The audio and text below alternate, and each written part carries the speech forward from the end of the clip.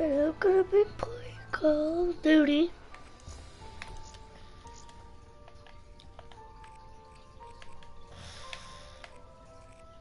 And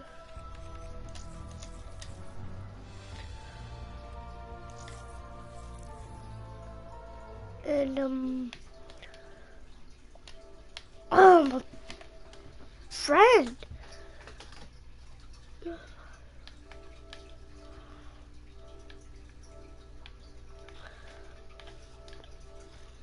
Oh, he's playing basketball.